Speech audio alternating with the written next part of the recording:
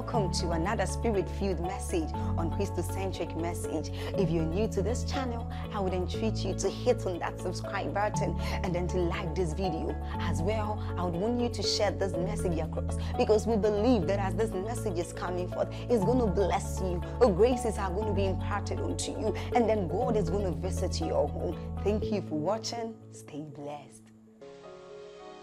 There must be a change in the name of the Lord Jesus Christ. There must be a change. For you to live effectively, you must focus on the things that matter. One of the deceptful things that people do that robs them from effective living is that they major on minor things and they minor on major things. We spend all our time and energy on things that from heaven's perspective are considered minor. Then we give very little attention to the things that we would want to call major. Whereas from heaven's perspective, or from, that we call minor, whereas from heaven's perspective, they are major things. Is God speaking to us? I'll give you an instance. When someone gets up and his whole obsession in life is money, marriage, house, car. That, that's everything that drives his life. Oh, I must have a car. I must have a house. That person is majoring on minor things. Whereas the nobler things in life, like your service and your commitment, your testimony and your track record that you love God, the sacrifices, your commitment in the house of God, the things that you have done on account of your faith, the lives that you changed, the destinies that came to know the Lord Jesus Christ because you were born. We minor on those things. And so this is what we do. One day we just challenge ourselves and say, three days we are going to be on evangelism. Are you ready? Yes. Then we now go out. And everybody is moving out. And you just block somebody and say, do you know that Jesus is coming soon. Yes. I am thirsty. The person now says, I'm thirsty. You now bring him to the church and he sits down and then you never have a passion for souls again. It was just, it was just a church calendar activity to fulfill all righteousness. You went out for two or three days. One, one or two people, people who are even, some of them were already born again. You forced them to say the salvation prayer and wrote their names and brought the booklet and said, Pastor, please take your rubbish. I got people born again. The passion is not genuine. How many people have as a major passion for souls? I'm not just talking of getting people born again, but seeing lives and destinies changed. These are the major things in life. What of a testimony? Look at what the Bible says. Lay up for yourselves treasures in heaven. How many people are interested in that kind of business? The business of laying up for yourself treasures in heaven. That when you go to heaven, there's, there's that song, can, can reduce the key. Tossed, that, that Anglican song, remember? Only remembered for what we have done. Play it, Mike.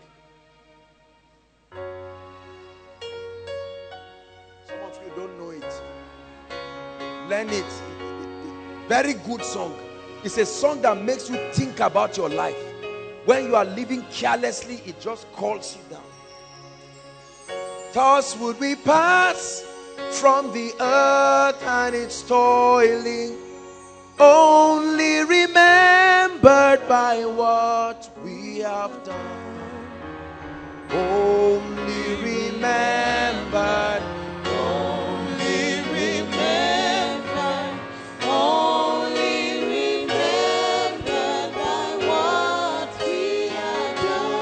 Thus would we pass from the earth and its toiling.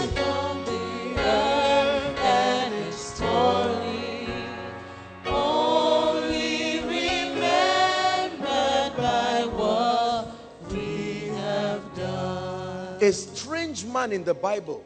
Listen, the seventh man from creation, the Bible calls him Enoch. This is all that the Bible tells us about Enoch never tells us how many wife or wives he married, never told us how many cathedrals he built. This is what the Bible says. And Enoch walked with God and he was not, for God took him. Only one more time in scripture we see his prophecy. A man who lived so long and the summation of his existence is that he panted after God in all his life. What a testimony. If all there is in your testimony, your epitaph when you die, the troublemaker has gone. Finally, peace returns to planet Earth. How about that? Let me tell you something. God is my witness. It is never my desire that if Christ tarries and I depart from this world, my ultimate pursuit is not to be associated with mundane things.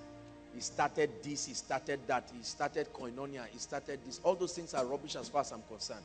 All I want to know is how many lives can say, I am a life that was changed. That's the major.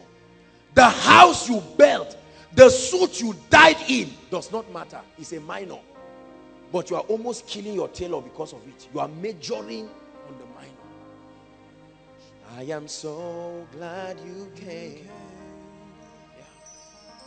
That at the end of my life, somebody can stand and say, it was because of Joshua Selman that I came. Not even in my death. That's the greatest testimony today.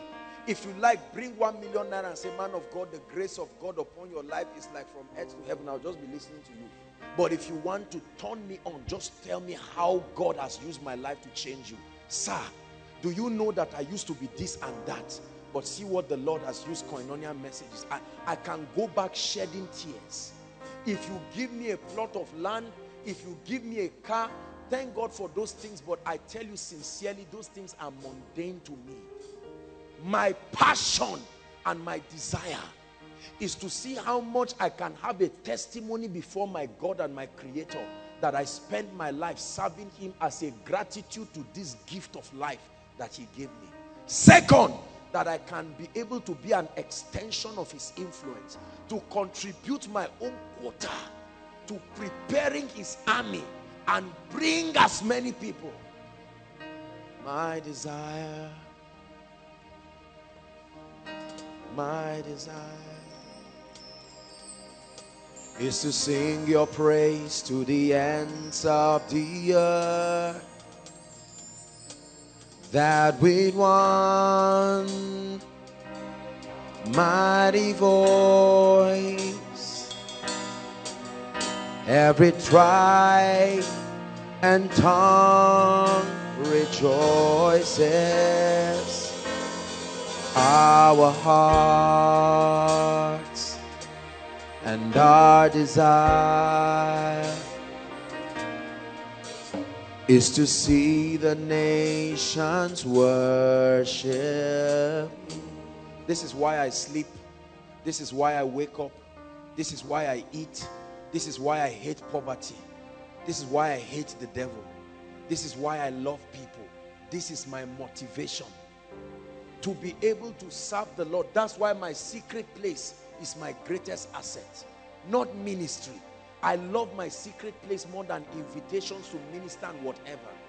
No, no, no, no. I love it more than a phone call that can change my life forever. Because when all is said and done and this world fades like a shadow, there is only one track record.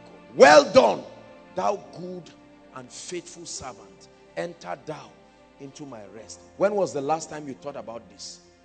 If you thought about this, you would have withheld your mouth from blaspheming a man of God or gossiping about a roommate or a worker. Some of these excesses find expression in our lives when we forget. Is God helping us? You must focus on people if you want to live effectively. You must focus on your assignment Focus on your business. There are people who live their lives and all you are doing is involving yourself with other people's business. You have your own life to live and your time is short. If God gave you 80 years to spend on earth and you spend 60 years escorting other people in destiny and then you don't even know why you were born, you don't know anything about your life. Let me just chip this. If you are here and you are seated listening to me and you really cannot tell me in one sentence why you are alive, you do not know. Is a serious reason. It is worth it to go for a retreat and say, Lord, why am I here? I'm tired of clapping for other people's vision. I'm tired of clapping for other people's destiny. He said, Lo, I come in the volume of the book as it has been written of me to do your will. Not everybody will be a pioneer of a ministry. Not everybody will be a man of God. But even if you are serving in ministry, you should be able to know what your assignment is there and commit yourself. This is the ideology you must have about life. This is the first subject we are dealing with tonight about life. These are facts of life that you must know. You must live with eternity in view.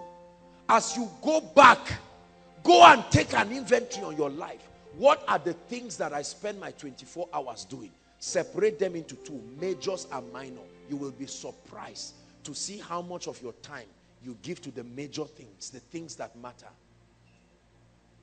Things that matter. We can spend seven hours sitting and daydreaming about rubbish. We can spend 10 hours watching movies and films and there's nothing wrong with that. But learn to major on the major and minor on the minor. By the time you switch them, your life is going to be vanity. I will never spend my time on something that does not weigh in the scale of eternity. I will never waste my time. It has nothing to do with me being a preacher. You will never see me sit down gossiping about people, talking about another man's ministry, tearing down people. That's not my business. There is an urgency. The king's business requires haste. There is a lot. I have, I have too many things on my mind to do.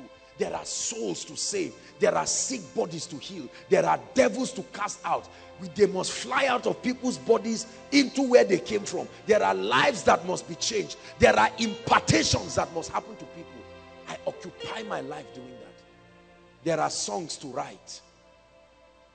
There are visions to bring. There are revelations to bring to the body. There's too much to occupy me to waste my life in bitterness and anger and all of and this this competitive thing people do around. Please get out of that thing. Occupy. Don't let Satan give you a job that God did not give you. Are we blessed? Oh, so teach us to number our days. I want you to leave this place tonight with a new paradigm about life. This is a better revelation than just legalistically trying to tell people, stop this, stop that, stop sin. When you give them a revelation about the reality of life, the fact that it is a gift and a trust, it will compel them to think and say, what am I doing with my? As you go back home, go and sit down and think about your life. If you've never done it, please switch off your phone and just sit down or wake up in the middle of the night and just sit down and say, where am I going to? Okay, I'm 35. I'm 45. I'm 50. I'm 20. I'm 17. I'm 10. What am I doing with my life? Number two, the second discussion that we're going to be looking at, I want to teach you an understanding about people. If you want to live effectively, you must understand people. These keys I'm teaching you will make you master effective living. You will live so effectively.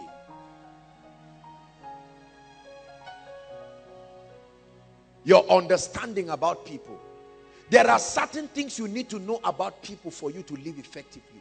If you do not know this, you will fail bitterly in life. Ready? Number one is what I call the fundamental principles of human relation. The fundamental principle of human relation. As far as dealing with people, we're on another subject now. Understanding about people. We've looked at understanding about life. Your understanding about people is an ideology that needs to change for you to live effectively. Write this down. I'll keep drumming it to your head till you get it. The highest psychological need, this is what I call the fundamental principle of human relations. The highest psychological need of man is the need to feel loved, the need to feel valued, and the need to feel important. Any man, Christian, Muslim, atheist, Buddhist, the follower of Baha'i, Confucius, whatever, all the religions in the world. Every man today living on the surface of the earth has an inner craving. The greatest psychological craving of any man is the need to be loved, the need to be valued, and the need to feel important. The moment you live your life violating this law, you are going to go through a lot of struggles with people. Are we together now? Um, let me use Amaka. Come. Let me use you. Anybody? Come.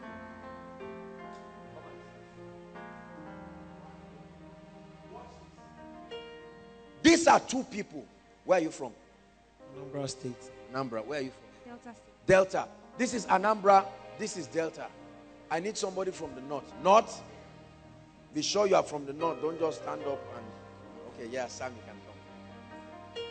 Watch this. You can, you can stay here. These people have diverse cultures, diverse ways of living. But can I tell you the truth? Embedded in every one of them, from Delta, from Anambra, from Kaduna State, embedded in every one of them, they crave for it, they will fight for it. Is the ultimate determinant of their attachment to people the need to feel loved the need to feel valued. Everybody wants to feel loved. That sense of love, that sense of value. You know what it means to be valued? I've told us, but write it again. To be valued means to be given an impression that you are not easily replaceable. That's what it means to be valued. By the time you live your life and you master degrading people and trivializing their worth, you become an enemy to effective living. So if I live my life, watch this. If every time I meet Amaka, all I keep doing to her is to make her feel she's of no worth. Are you getting the point now? I keep making her feel bad I keep making her feel you are a nobody, you are a non-entity. Let me tell you something. She will hate me. She will fight me. She will resent me. Every time I am coming towards her, I become a reflection of pain. Are you getting me? Every time people are celebrating her and she sees Joshua Selman coming, she will hate it. She will leave that environment. Are you getting the point now? Because my presence is always derogatory to her person. If I meet this guy right now and I look, I say, I'm richer than you, you are nothing. I push him away and make him look like you have to earn certain things to belong to my class. And I push him away. I devalue him. Are we together? I make him not feel important. The danger of that is that I will never be able to be friends with him. Some of you can never have friends and by extension husbands and wives because your attitude violates the fundamental principle of relationships. Your presence always makes people feel they are nothing. There's something about your ideology that mocks, you trivialize the efforts of people. There are ladies like that. Every time you see another lady, you cannot see what is nice. There is a beautiful flower, your eyes cannot see it. This is a lady that is beautiful, you can't see it. You just look and say, Kai, is this shirt iron or not? Why must your life tilt towards devaluing people? That sense of cynicism is destroying your potential for effective living. You must train yourself to always make people feel loved. When I come to Sam and I say, Sam, I love you. You are a great person. I need you to survive. I won't harm you. with words from my mouth. I love you. I need you to. And when Sam is trying to say, ah, no, I'm not qualified to be to your class, I say, Sam, if there is nothing that is common to all of us, we were all made from dust. There is a common ground. And I love you. You don't need to do anything to earn my love. I appreciate you. I know you are growing. And I make Sam feel important. When he sings, I say, Sam, there is an anointing on you. I know I'm anointed, but I cannot but acknowledge the grace upon you. Do you think Sam will want to be around me? Because anytime he's around me, that sense of value is honored. There are many of you brothers, you have destroyed the lives of sisters because every time you see them, you are, your, your mouth is like a razor blade. You tear people down. Kai, this girl, true, true. Let's tell the truth. She's not fine. Kai! You may be laughing as if you, you are fine. See it? There are brothers like that. And some are, are, are audacious. This is a lady who is trying to gather herself what? Like a broken plate. Her emotional, her, the emotional self-worth of her, of her person is fragile. She's gone through a family that did not believe in her. Now she came to Koinonia or to any um, congregation of God's people and she's hoping she will find a place where she can heal and be strong. And one arrogant carnal brother now comes to smash that thing on the ground and says i'm telling you to your face you are anointed oh i won't deny that one but fine nah you are you are no.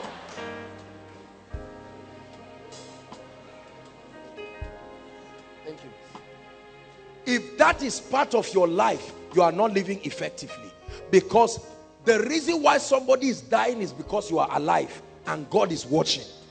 God is watching. You cannot come and destroy God's precious creation. Are you getting what I'm saying now? Yeah.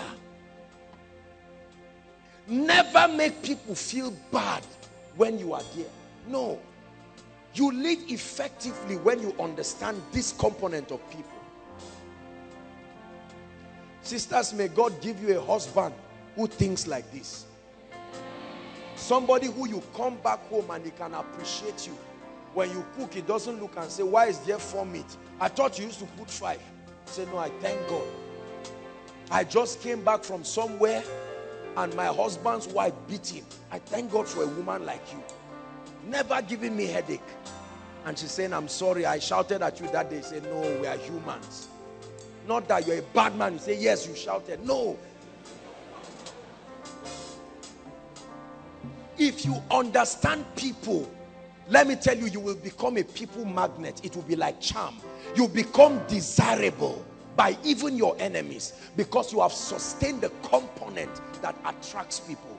The, the excellency of your ideology is such that everyone wants to be like you. Why is everybody running away from you? It may be because there is something about your life. Are we together now? You think they are running away because you are poor. Not necessarily. Trust me, not necessarily. There is something about your life that violates their sense of self-worth. I need you to serve. I won't harm you with words from my mouth. I love you. I need you to survive. Very important. Bless you. Bless you. You greet people when you come, you greet people. They don't just come and say, Apostle, how are you? Say, I'm fine. Ah. Courtesy. Are we together? The highest psychological need of man is the need to feel loved, the need to feel valued, the need to feel important. The second thing you need to know about people to live effectively, ready? You must be aware of the inconsistencies and the ever-changing nature of man. Oh, I teach you wisdom tonight. Be aware of the inconsistencies and the ever-changing nature of man. Expect people to change. Expect people to change, whether for the good or for the worst. If you do not factor this, you will die of hypertension as you live in your life. Expect people to change Factor this as you deal with people. How many people come back with shock? I used to know this lady when she was nothing. Very humble, very loving. Now because she bought BMW X Series, now she's arrogant. Expect people to change. Incorporate it so that you are never shocked. There are few things about people that surprise me because I factor it. There are people who used to greet me years ago. They will see me and greet me. But now I see them and you see there's this unconscious. I'm also a man of God now. And I just see them as I expected it. Carry your wahala. There's one song, owner of evil load. Carry your load. Now I don't mean that but, but I mean, come on. I reject any load that God didn't give me. Carry your wahala, your mindset, and your village, whatever, go with it. I don't want trouble. Our not understanding that change is something to be expected even in people is what surprises us. So as at the time you asked the lady out, she was a charming sleeping beauty. Lovely lady. She would greet you. It was because she was not exposed. Now some exposure has come. And one day she challenges you and you say, me, when did you change? If you don't factor it, you will die like mere men. How, how many times do we expect people to remain the way we've always known them? Let me tell you, if you want to live effectively, incorporate this. People are inconsistent, they are ever changing. Somebody will say, I love you today. Tomorrow he will say, crucify him. Let it not shock you. Factor it and you will be free. So that if your best friend today turns and stabs you at the back. I, I, I, I, some, some years ago, I managed one issue. One guy liked one lady, one good Christian lady, and there was one middleman who was trying to process the whole relationship. And in the process of trying to uh, do the procession, I don't know how the thing worked, and the guy started, you know, was possessing his Canaan for himself, and so on and so forth. And he found out that they were spending time together, and the returns that would have come from the whole, I mean, the guy was not, nothing was happening. And at a point, he just said, Look, this lady says she doesn't like you. Long and short. I've just been afraid of telling you, but now see it as hot as it is. And then a few weeks, they were all going out. And then, of course, you can imagine how that relationship too will end. Praise the Lord. But the idea is that when was the last time some of you listen as you are sitting down right here you are bitter and you are depressed because people changed your father changed when his salary came when his arrears of 10 years came no more prayers remember when people used to come and pray? They forced you to wake up in the night and do night vigil. You killed everything flying around your house till that money came. When it arrived your father became himself. He apologized to the family. If I've offended anybody, if that's what is stopping the money, I apologize. And you were convinced, my goodness, daddy has changed. All of a sudden, the money came and he found out there is no change that has happened. Listen, learn this about people and you will win. The inconsistencies and the ever changing nature. Man, the only thing that God guaranteed about man is that he will change. People change when they are under pressure.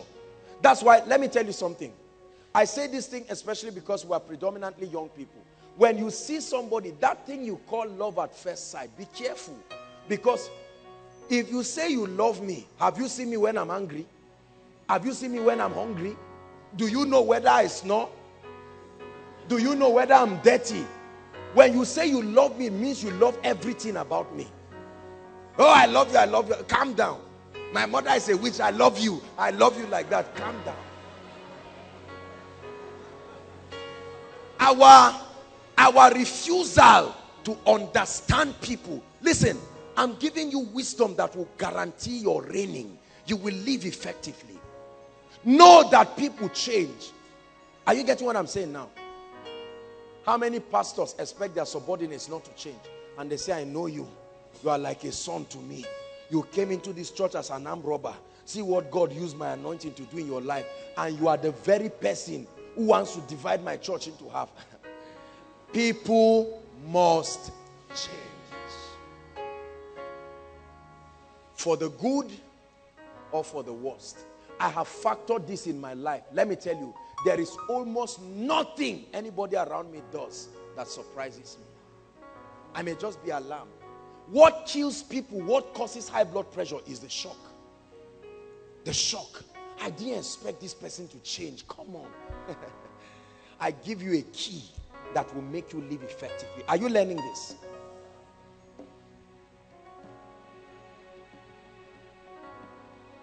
When you expect people to change and you factor it, you are never surprised.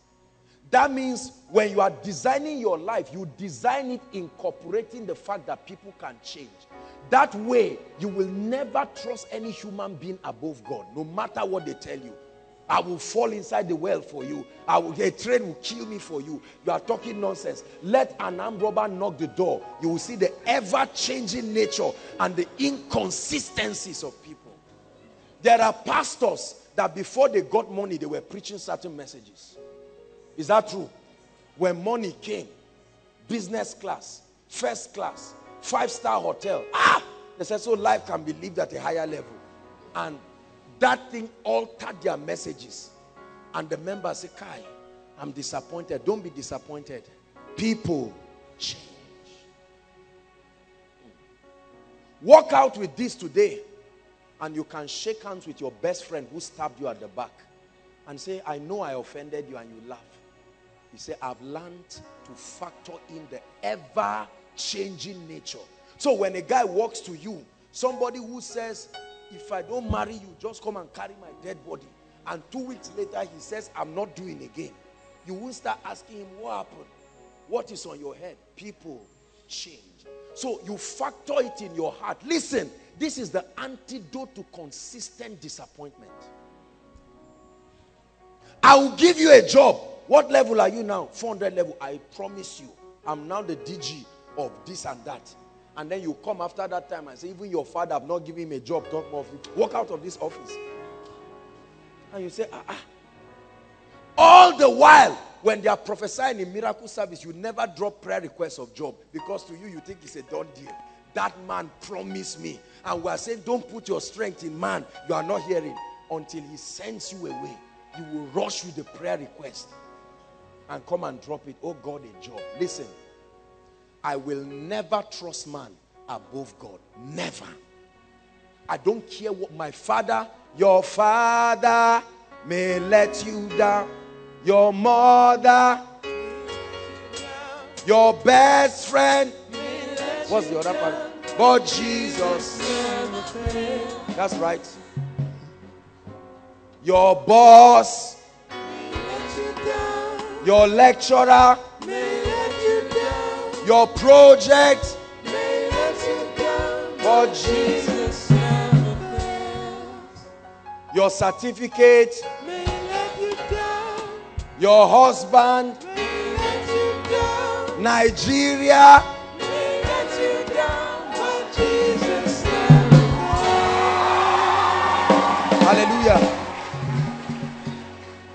Understand the inconsistencies and the ever-changing nature of men.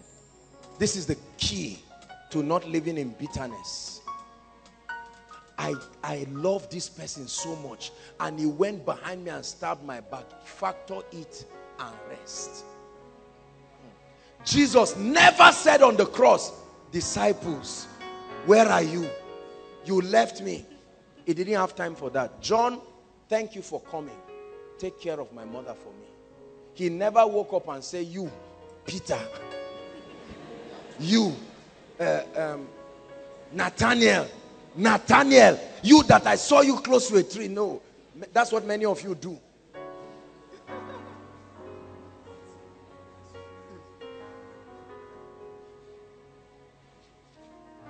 Number three, under understanding people. You must understand what I call the motivation of the natural man. If you want to live with people, you must know what motivates the natural man. And I want to tell you now, there are three things that motivate the natural man. Fear, greed, and self-centeredness. Factor that as you live with people.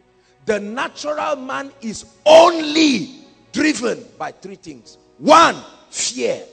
Two, greed. Three, Self-centeredness. Hmm. If you don't know this, you will be deceived. The concept of celebrity really does not exist. People only celebrate you to the degree to which they found something in your life that is valuable to them. The day they don't find it, they will dump you for the next thing.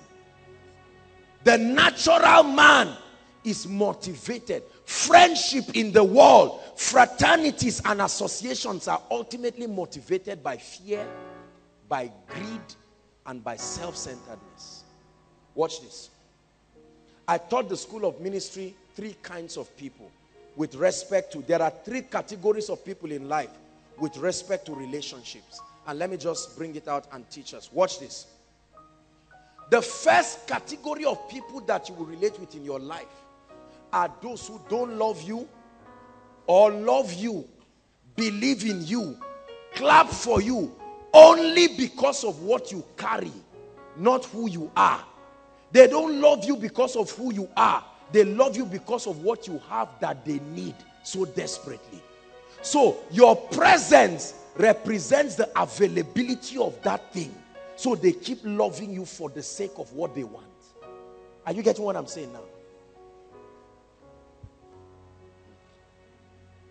When you see an anointed man and you run around him and say you are anointed, you really do not love him. You only love what his presence brings in your life. The day I was telling the school of ministry students, the day we do two koinonia services and you don't sense any anointing, you sense the service go bad. Many of you say, I said it. Hey, the charm, the charm has scattered. How many, listen, how many of you seated here, if I'm preaching right now and in your presence, a charm, God forbid, but let's assume that I'm carrying a real charm and it just falls out here. Let me tell you, some of you who shouted, I love you, Joshua Selman, you are my father, you are my mother, you are my uncle, you are all of this. At once, at once, you are the ones who go and call the police and say something is wrong. Let's, let's join the president in fighting corruption in Nigeria.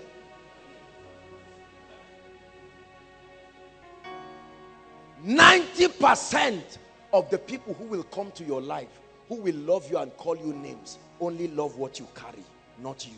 If you are not aware of this, the crowd will deceive you. When men clap for you, they are clapping for what you carry that they need. Even if you still have it, the day they don't need it, you will dump it. Look at what we have done for Nitel. Nitel, that labored for Nigeria for many years. Look at what we have done to railway. Look at what we have done to typewriters. Look at what we have done to cafes. Look at what we have done to Nokia 3310. That's an example. There was a time that represented our obsession. It's the same thing you will do to your Android device in the next 10 years. It's the same thing you will do to your tab. You will throw it away. Young children like this don't even know what a typewriter is. Whether electric or manual, they don't know it. Are we together? Yeah. So when you see people celebrating you, don't get carried away that they are admiring you. You say, I'm a superstar. Joking. Joking. You are only a commodity that is desperately needed. And people are leeching on you to eat their pound of flesh while they can. For as long as what you carry is needed by them, they will keep loving you. The first category of people you meet. Many of us are under deception right now. That's what I teach the leaders. I hear many of you come and greet, and, and, and I'm not saying you should do it. Oh, I want to thank my father, Apostle Joshua Selman, and I'm just looking at you while you are saying it. I want to appreciate the head of department, prayer band, and everybody shouting, Ooh. The day you try to get people filled with the Holy Spirit, and you lay hands and lay your legs and nothing happens, they'll start saying, this department is like we're backsliding. The, the prayer, the anointing on this department is not as strong as it used to be before. Gradually, gradually. Listen, when you know this, you will celebrate people, but you will learn to love yourself because ultimately you are your biggest fan. At least you are the one that trusts yourself. By the time you stop loving yourself and allow people love you, the day they leave, you will die of loneliness. Job was left alone. And he said, I know my Redeemer liveth. Oh. I've lost everything. but I will love myself. Many of us are here right now. How many of you started fellowships and started groups? Or maybe were pastors of fellowships. And as at the time you were working with the people, most of the people you were grooming and building were not spiritual people. But now all of them have revelation. And everybody pushes you away and you are feeling disappointed. There's no throne for you again. My brother, save yourself headache. I'm giving you freedom. Go and find a way of motivating yourself and keep loving God. For as long as people see something in you that they want. I asked the School of Ministry students a question and I'm going to ask you to prove that the love of man is sensual and carnal. How many of you tell me the name of two imbeciles you can remember? Ready? Those are the ones that have nothing to offer to you. You can't even remember their face. When was the last time when you visited them charity, you only visited them to show the world you are doing well, you are all of that. They poured saliva on you, thank God. How long can you endure that? You just endured it for the moment. That's to prove to you our love is principally self-centered. Number two, the second category of people you will meet in your life are those who do not love you. Don't confuse this. The first category, they love you. They celebrate you. But the motivation is for themselves. The second category, they don't love you. They don't believe in you. But because there is an enemy they have to confront and they need your cooperation to destroy that bigger enemy, they will come into a momentary partnership with you to help them fight that bigger enemy. When the enemy is defeated, they return to themselves. Are we together? A funny example. During crisis, post-election violence or religious crisis, how many of you love people that smoke igbo? How many of you love people that do this? But the moment there is crisis, what happens? Because those guys are the ones who put the headband and go to fight for Christians you now motivate them and say, my children, go. Do you love them? No. Do you believe in them? No. But there is now a bigger enemy. You don't care their church. In fact, sometimes you even give them some money and say, take minerals. You know what they will do with that money. But you are saying, take minerals, right? And you tell them, please, as you are protecting, come around my house. Make sure that everything is working well. Do you love them? No. Do you believe in them? You have warned them two weeks before the crisis. They should not come near your house. You will shoot them if you see them. Now, because you are afraid that a bigger enemy will kill you, you are now using them momentarily to help you fight that bigger enemy. And afterwards, you hate them back. When you want to move to a new place, a new house, you want to find out, are there Christians there? Now, you may hate Catholics. You may hate Anglicans. You may hate Pentecostals. But because you want to be at least in a place of safety. You now say are they christians? You don't know what, what they believe. If they say your neighbor is a christian the other one is a christian you say ah i'm happy. Immediately you enter that problem has been solved. Now you hear this guy praying in the night. You say mr man i'm here. I will warn you. You it's your church that prays like that continue. You see that? The difference has come. You needed them momentarily. Do you understand what i'm saying now how many people come into partnership with you just because they want to fight a bigger enemy? I've seen people who don't love me, they don't believe in me. They, many of them may have said a lot of things about me, but when certain inevitable diseases came upon their lives, oppressions, they saw people appearing day and night and telling them you will die. They tried everything they would do, right? And then they would now come and you see them say, man of God, honestly, Kai, may God bless you. You are doing a serious work.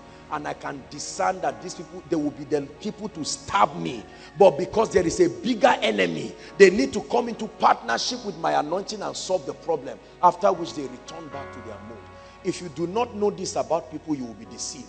You will suddenly see your enemy at peace with you. He's at peace with you because there is a bigger enemy. Learn this and be wise. Are we together? The third category of people that you meet in your life are those who will love you for who you are. They will die with you. They love you more than your money. They love you more than your anointing. they will be the last sets of people to give up on you. Brothers and sisters, let me tell you something. I told the School of Ministry students yesterday and they were shocked. If you find 10 of these people in your life, you are the luckiest person who has lived. Don't answer it now. Answer me when you are 60 years old. If you find 10 of this third category of people, like Ruth to Naomi, who will say, Your God will be my God. If you fail, I fail with you. If they mock you, they mock us together. You may never find those people. I pray for you. May, may that person be your husband or your wife. Because if if that that category, have you not seen husbands that left their wives when there was trouble? There was one man who gave birth to six children. He was looking for a boy. First twins, girls. Second twins, girls. He said, let's try again. Third twins, and he ran away because he could not find. I mean, it was on news. They had to look for him and see him standing as if he was not the one responsible for the children. That's what people do. A man can be that self-centered to run away from his own children and his own wife.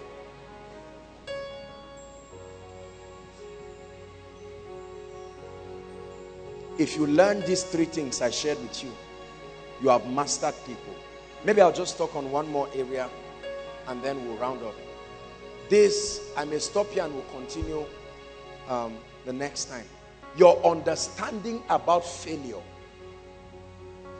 Mm. Make sure you get this. You must have an understanding about failure, about setbacks, about challenges for you to be able to live effectively. Ready? Right, let's fly. On your path to success, failures, challenges, setbacks are inevitable. Write it down. On your path to success, you must fail. You must have challenges. You must have setbacks. If you do not know this, you will be discouraged. You will die. Champions in life are not people who were not confronted by failures. They are those who knew the things that I'm teaching you now. Your failures are doorways to lasting and sustainable success. Write it down. Your failures are doorways to lasting and sustainable success. I want to change your mindset about your failures. Now, I sense God ministering to people very personally because there are lots of people that have failed and you need somebody to explain to you what is happening in your life. Your failures are what? The door, the very door that opens you up to success is called failure. That's the name of the door. If you reject that door, you reject success.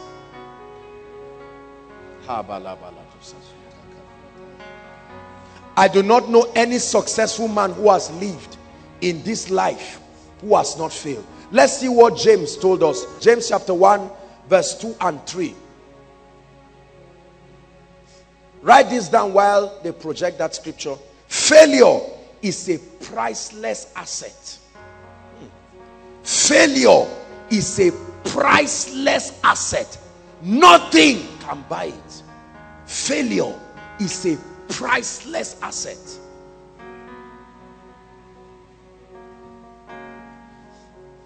Everyone say Failure is a priceless asset.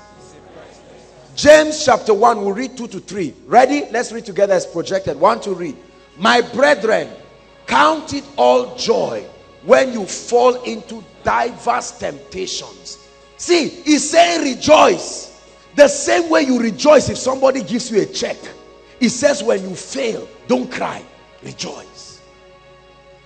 Knowing this, this is why you rejoice. That the trying of your faith worketh what? patience. Let's look at verse 4. It says, verse 4, please. But let patience have his perfect work. And then read on, sorry about the media. But you get the point. Failure is a priceless asset because it teaches you patience. There is no other way to learn patience on your path to success. Number two, failure teaches you discipline. Discipline. When you hear people brag and they are arrogant on the path to success, just leave them. Failure will bring them to a point of discipline, I guarantee you. Failure brings humility. When you fail on the path to success, it brings humility.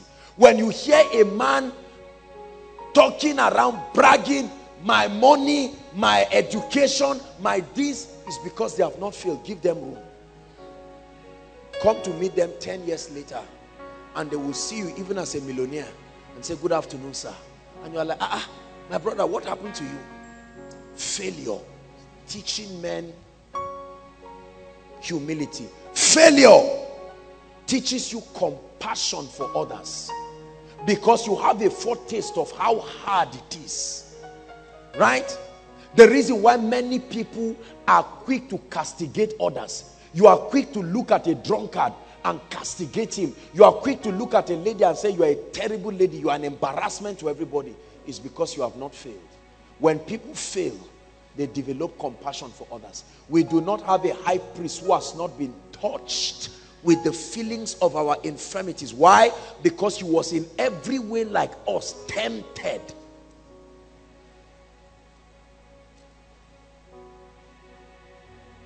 The only, let me tell you something about failure. Failure is a sign that you have started moving to the realm of success. You never fail if you are not moving. Failure confirms that you are moving. Ah!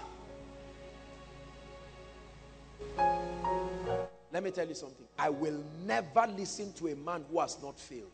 I don't care what you have accomplished. If you have not failed, you don't have a message for me. You don't have the balance. Failure gives you balance. People who have never failed are arrogant. When you see somebody just comes into the anointing, you hear him talk. God forbid. Can you imagine? I'm embarrassed. I don't know why pastors don't have a crowd. I mean, in three days, we have grown from two people to 20. Just let him continue. Don't tell him anything. Continue. You come back after one year and you say, I don't know why people will trust you today and next week they won't trust you again. Failure is teaching him a good lesson. At the end of three years, he says, Look, it doesn't matter crowd or no crowd, serve God. Failure has taught him. Look at the transition from a pompous and an arrogant person to a disappointed fellow to one who has stepped into it.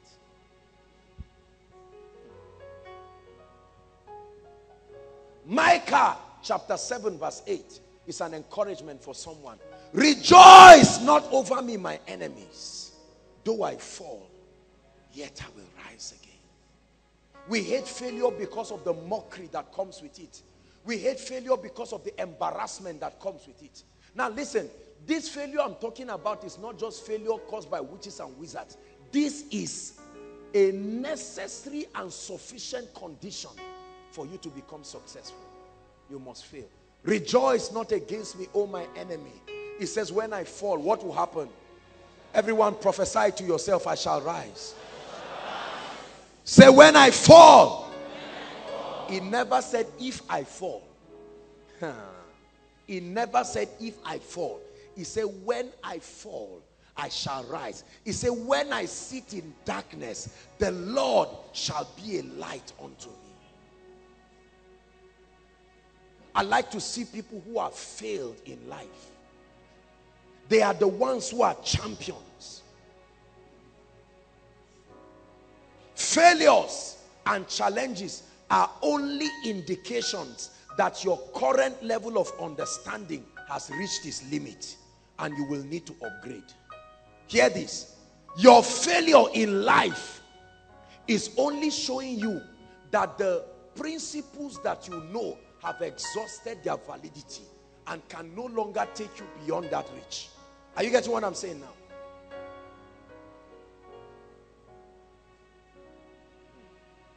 When you fail, it's a sign that what you know, what you understand, what you believe has reached its limit. Meaning you will need another kind of knowledge, another kind of understanding to pick you and continue with you. That's what it means.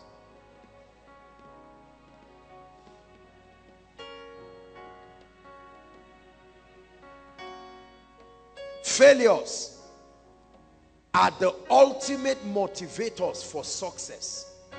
Oh, how true. Nothing motivates you to succeed like failing. Failing will motivate you more than counseling. It will motivate you more than encouragement.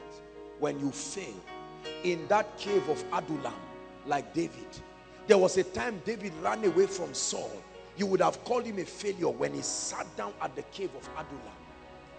It was at that point certain things began to happen in his life. Is God speaking to us? Failure prunes and edits your relationships.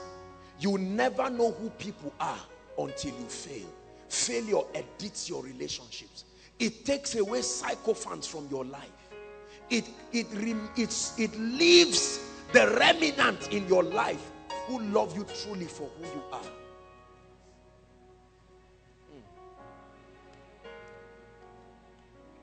Are we together? Listen, let me tell you something. Failure has monetary value. Failure is that needed. In itself, you can become rich by failing. There is a level to which you fail so much in life. Your failure becomes the testament that helps other people to jump that path and they will pay you for it. So your failures are not a waste. Remove the shame, the stigma, and the embarrassment that come with failure, but treasure the experience. Is God speaking to us tonight? Take away the shame. I know that failure comes with shame. I know what it means to organize a program and publicize and in your vision you saw an overflow. But then two hours into the program, that's when the 11th person comes into the meeting. It may look like failure but at that point, it can give you an opportunity. Remove the shame. Remove the embarrassment. Take away all those things, but preserve the experience. Because the day a crowd comes, you will glean from that experience to become your instrument of thanksgiving. When you see preachers roll on the floor and thank God, they know what God did to them when no one was watching them. Are you getting the point now? Yeah. How do you deal with failure? Number one, never be ashamed of it. Don't let any man make you ashamed of failure. Honest failure that happened on your path to success. No. No. Learn from them and rise to a realm of success. Learn from them. You never conquer failure until you learn the lesson from it. If you do not, you will keep repeating it for ages. You conquer failure when you receive failures. Listen, listen to me. Watch this. Watch this. Let me tell you something. Failure is like a parcel from the gate of success to your current level. A parcel contains a letter in it. That letter is the secret to your continuity in that part. But it comes as failure. Just like you send a messenger with a letter. When you open it, you will see in it the secret to continue your journey. Failure is like a compass. It has in it a roadmap and a compass. When you get to a point in your life where you fail, check well. There is a parcel. Open it up and it will tell you turn left. And you begin to move and you continue your journey. You can ignore the parcel out of shame and you never will get to the place of success. One scripture and then we'll run away. But let me just give you two scriptures. Job 14 from verse 7 to 9. The Bible says there is hope for a tree. Oh, I bring a message of hope for people who have failed. There are people who have really failed. There are some people who probably wrote JAMB or wrote post-UME or wrote other things. There are people who may have to spill over, stay an extra year. There are those who have finished, you graduated, you paid the price, but there is no job. All these things look like indications of failure. Tonight, I want you to go to the treasure where you keep the most valuable things in your life and pick your failures and add it to your treasures. Otherwise, you are missing a lot. Don't throw your failure away. It's a priceless gem. Media, please give us Amos chapter 3, verse 12. Let me give you two scriptures. Job 14, 7 to 9 and then Genesis 50 verse 20. Remember what Joseph told his brothers. He said, you meant it for evil, but God has turned it around for my good, for the salvation of others. In other words, you wanted to sell me out of jealousy. It doesn't matter what made you fail. It may be your personal cause. It may be envy. It may be whatever. It doesn't matter. Verse 12. Okay, we have it. Now, read this very interesting scripture. He said, Thus saith the Lord. This is a message of hope for somebody tonight. As the shepherd taketh out of the mouth of the lion two legs or a piece of ear. Look at this. A lion has devoured a sheep to a point that it ate the whole body.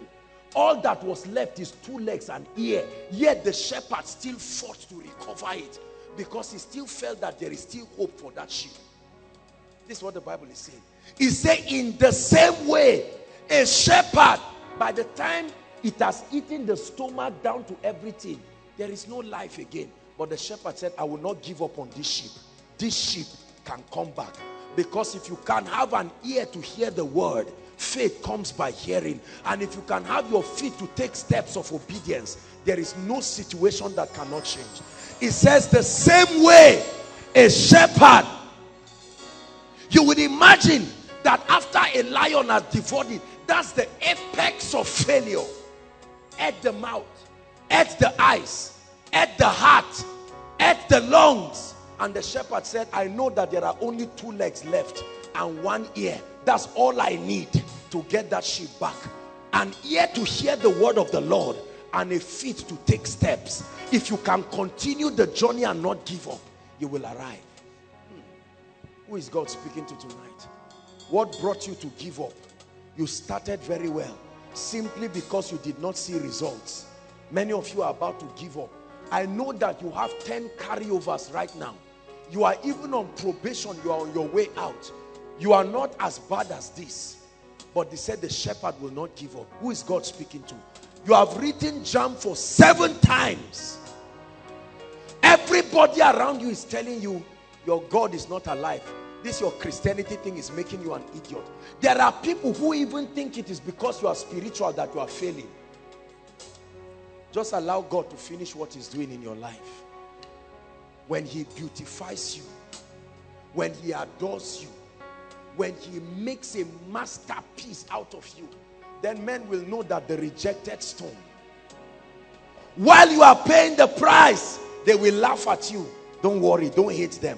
While you are going through the valley of the shadow of death, while it looks like the sun will never shine, I want you to know that if there is night, there is day. It says, and the evening came and the morning came. If you see the evening, they were tied together. You can't see evening without morning. If you see evening, it means morning is on its way coming. He'll lead me and guide me to the city of Papa.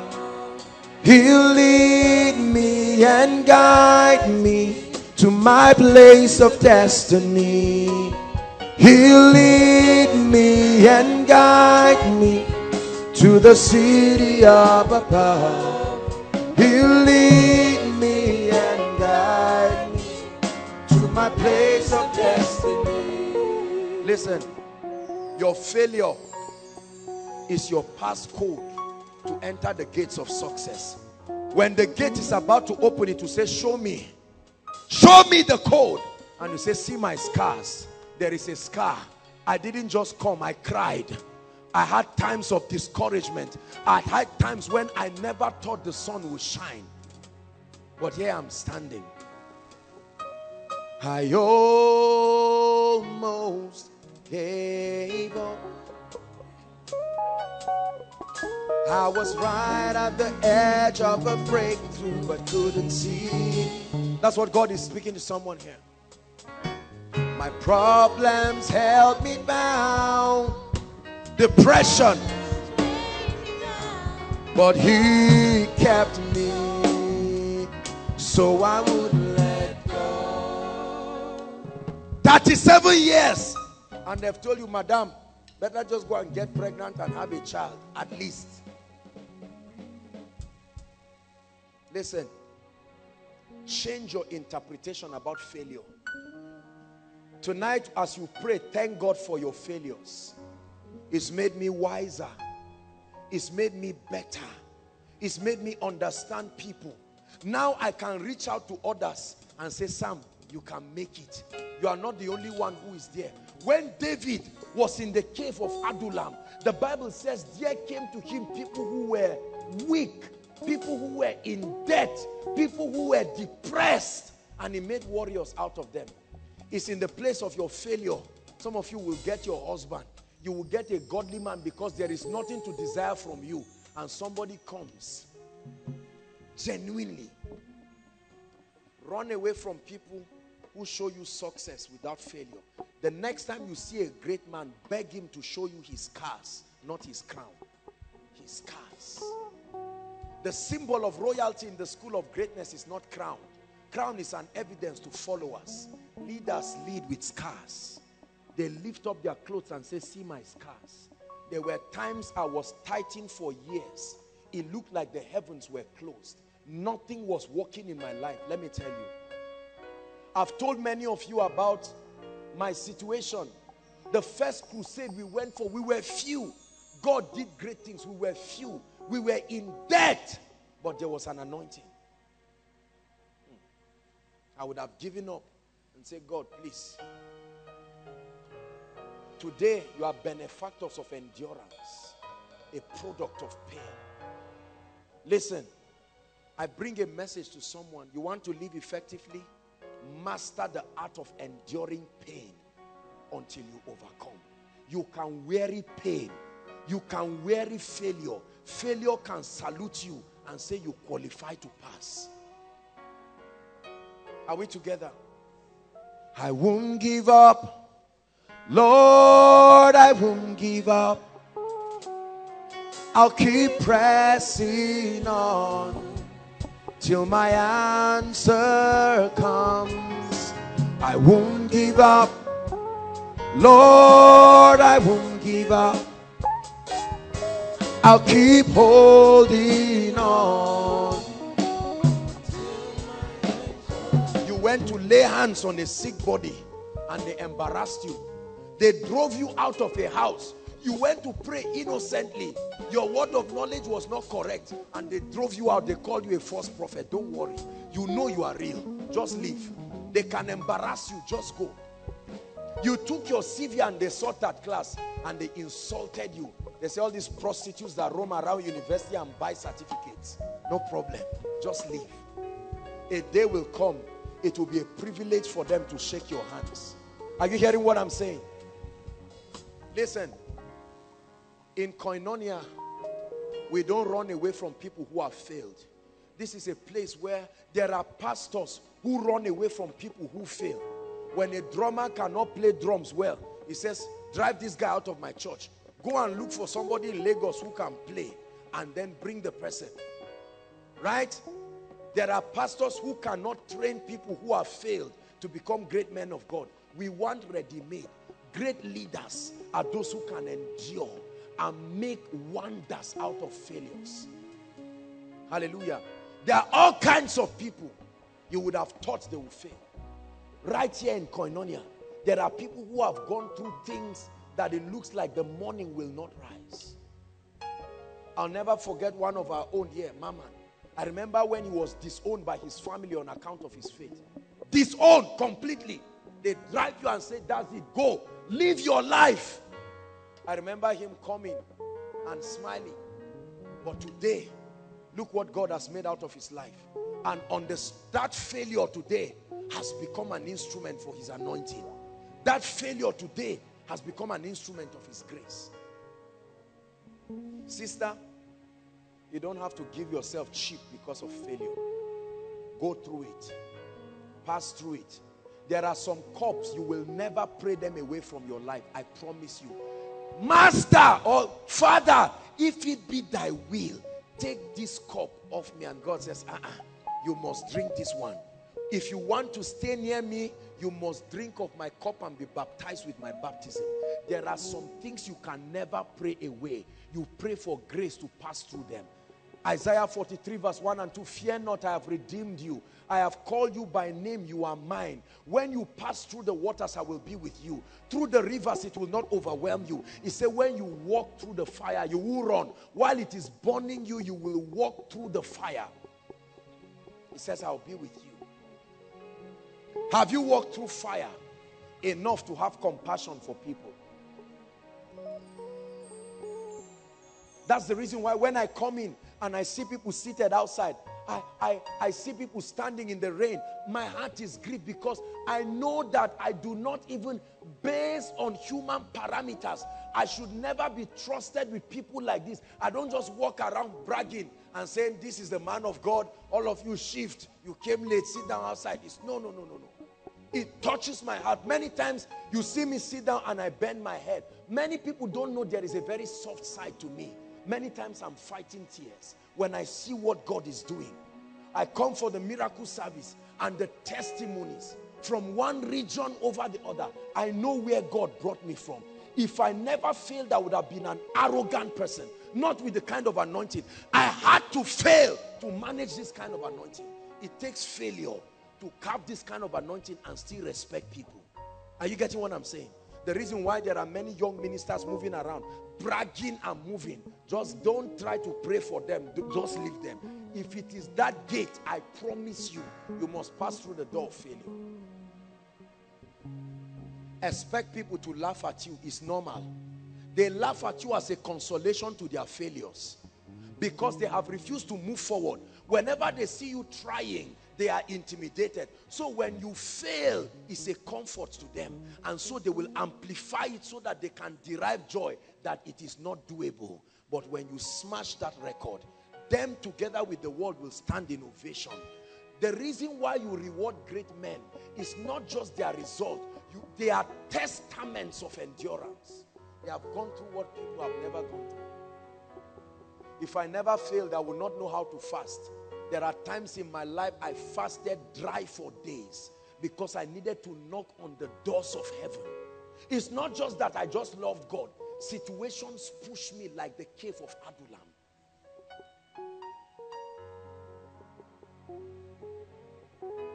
We are going to pray.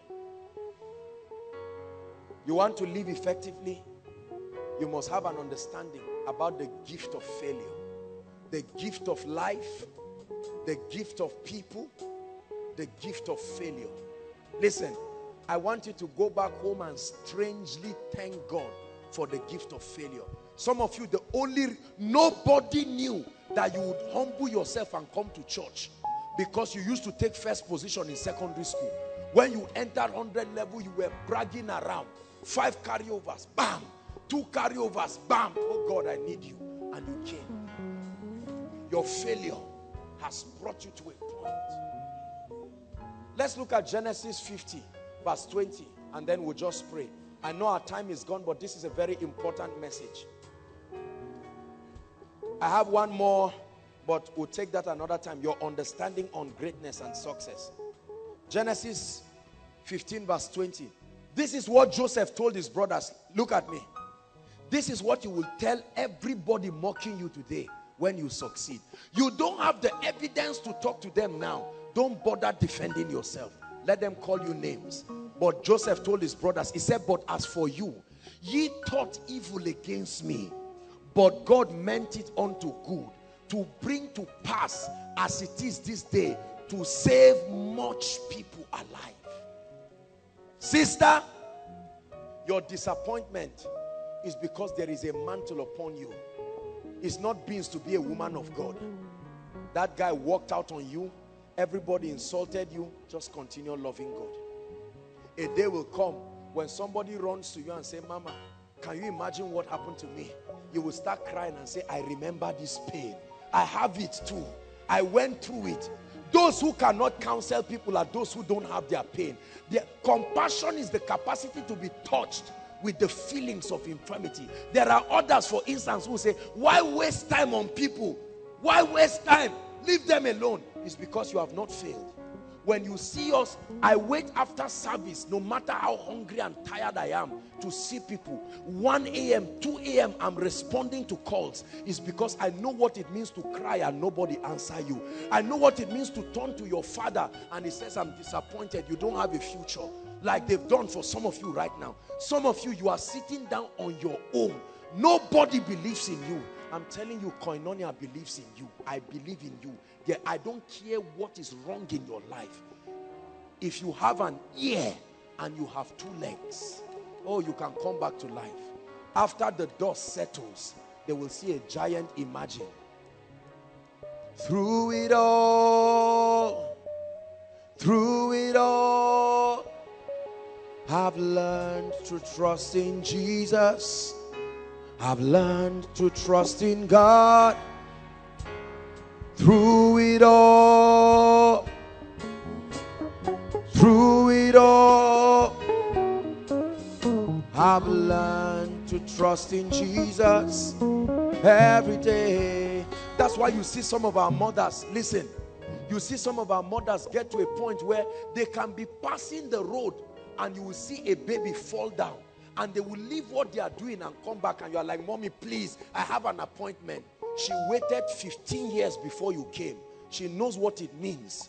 She knows the value of a child. Are you getting what I'm saying? 15 years of mockery. They threaten her that they would throw her away. And so every time she sees a child, she's touched with that feeling. You will never be a man of God. Let me tell you, for those of you who like claiming apostle, part of the apostolic ministry is that you will be passed through the pain of many people. If you do not know, know it now. If you think you will wear suit and prophesy, you are joking. You will be subjected through many problems you don't have issues with because you need that pain.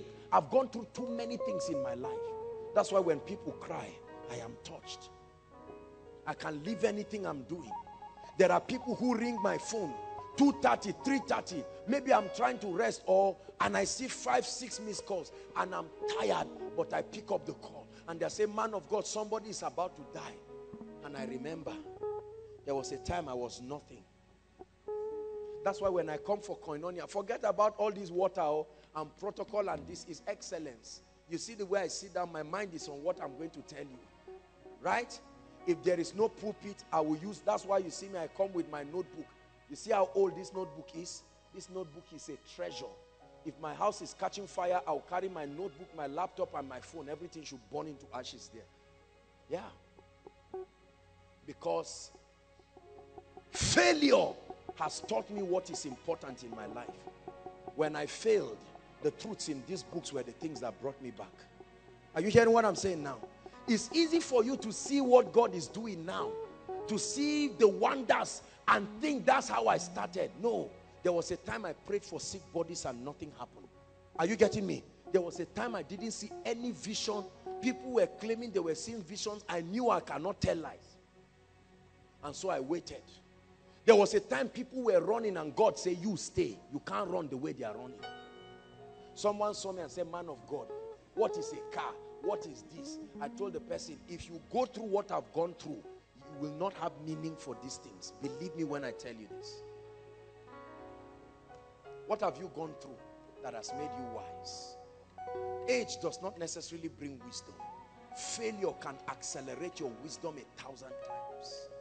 There is a way you fail your way to wisdom. Are you, are you with me now? I'm speaking my heart to you. We are going to pray. I know that our time is gone. But tonight I want you to go back and thank God for your failures. We love people when we fail. We have compassion for people when we fail. When a man of God sees a sick body, because you have never really been sick, you see a sick body and you try to pray for her and she's not healed. The humility to say, please take her to the hospital. You now start shouting on a sick person. You don't have faith. You, are, you can't prove I'm not anointed. Look, I know I'm anointed. That man has not failed. The day you are standing on stage and the last thing you can remember is you had like a slap and with all your anointing, they, they say you stand up and you see that you are taking the third drip. You will know that failure is not when you are sick, it's not necessarily that you don't have faith.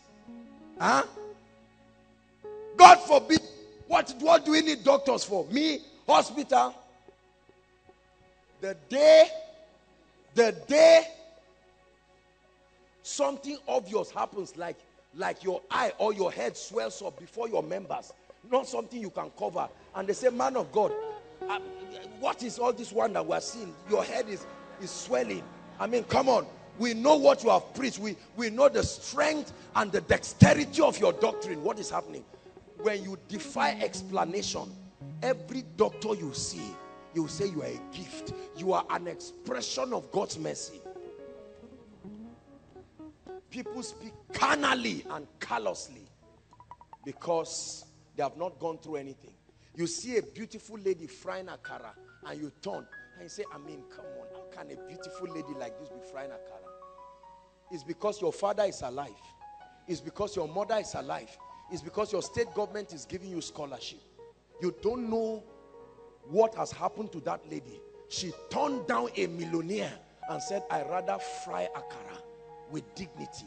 But because maybe you are seeing them in Koinonia, you see a pretty lady like this, and tomorrow she's frying akara and she sees you and she says, Bless you. Say, Are you a member of Koinonia? And you say, Ah, Kai, I, I should change your story. I'm embarrassed. I mean, is the word not working? Continue talking like that. Listen, when you fail, you love people. When you fail, when people cry, you don't say they are acting. There are times the only voice of your pain is your tears. Your mouth cannot speak. Only a man who has gone through pain can understand the language. While you cry, they are hearing what you are saying and they know. And they can wrap their hands around you and say, look, I know I was going for lunch. Lunch cancelled because there is a life here that must change. Rise up on your feet. Two prayer points very quickly and we're out. Lift your voice and thank the Lord for the teaching tonight. Oh, teach us to number our days that we may apply our hearts unto wisdom. Your grace, your grace. Lord, I'm nothing without you. Your grace, your grace shines on me. Prayer point number one Lord, grant me wisdom from tonight. Lift your voice and pray. Please, everyone, make sure you pray. Grace to evaluate your life. Grace to evaluate your life. Grace to evaluate your life.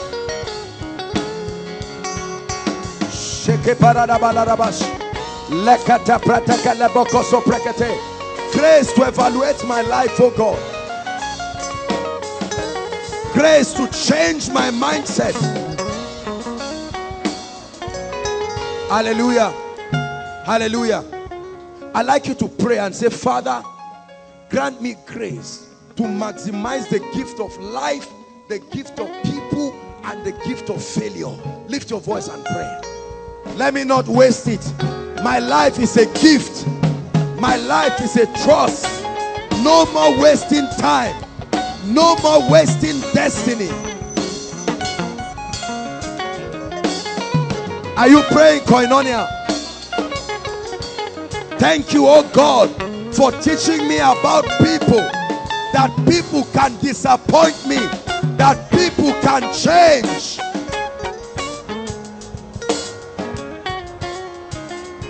Lift your voice and pray. Thank you, Father, for helping me understand the priceless gift of failure on my path to destiny. The priceless gift of failure that I can fail forward, that I can fail into greatness. Thank you for everything I have gone through. I cried, but I give you the praise for it.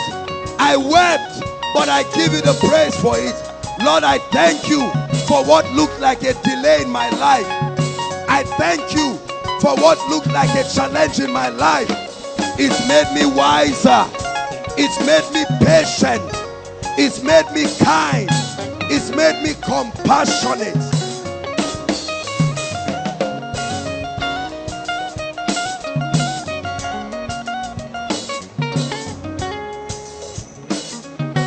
Hallelujah. Hallelujah. Let's add one more prayer point quickly. I'd like you to pray and say, Father, every lesson that my failures and my pain have brought to my life, I receive grace to see it and receive. I endure the shame, I endure the mockery, I endure the misunderstandings. Go ahead and pray.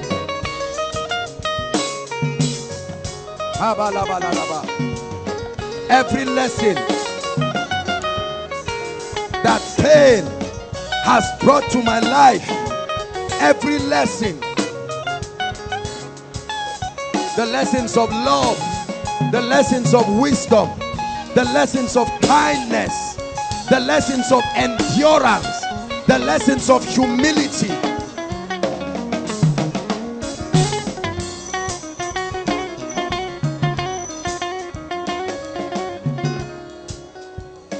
Hallelujah. Hallelujah. Lift your hands as I pray for you. While I do that, please, let's be patient to hear the announcement. And as soon as I pray for you, all those who are worshiping with us for the first time, I know that here is crowded, but just make your way to the front. We want to welcome you. You are very important to us. There was a time we did not have you, and although we are out of time, we will not trivialize your presence. So while we are doing that, just make your way to the front. Others, lift your hands. First timers, please make your way to the front. You're welcome. Lift your hands. Father, in the name of Jesus Christ, I pray for your people. Lord, tonight there are people in this place who are carrying bleeding hearts. There are people in this place who have failed many times. Like Jabez, they have named them after their sorrows. But Lord, I pray that tonight let this message restore hope to them. In the name of Jesus Christ. There are people who have been disappointed again and again as a result of the inconsistencies of men. Now, oh God, you have taught us how human beings behave. May we never be shocked at the behavior of people again in the name of Jesus Christ. And Father, I pray that you teach us the wisdom for living. That life is a trust and life is a gift. Help us to appreciate it at all times. In the mighty name of Jesus Christ. Let's celebrate those who are worshiping with us for the first time. Hallelujah. Thank you so much. Thank you so, so much for coming. Um, we really appreciate you. This is Koinonia. God bless you. We honor you for coming all the way. Some of you traveled from states, from regions. Thank you for coming. This is Koinonia. We're here every Friday, and we encourage you to keep coming, and the Lord will bless you. Stretch your hands, saints of God. Let's pray for them in one minute. May the Lord bless you, and may the Lord honor you. May the Lord cause his face to shine upon you. We pray that God will birth a fresh hunger for spiritual things upon your life that desire that you came with, it is filled to its fullest in the name of Jesus Christ. Hallelujah. Thank you so much. I just want you to follow one of the gentlemen. Hello, beloved in Christ. We hope this message was a blessing to you. I would want you to do something for us. If you are new here, kindly hit on that subscribe button for us and then like this video as well. Share to your family and friends to bless that this message will be a blessing to their body, to their soul, and to their spirit. We would need you to do one thing for us too. Tell us in the comment section where you were watching us from. And if you've got any testimony for us, kindly share with us. Thank you for watching.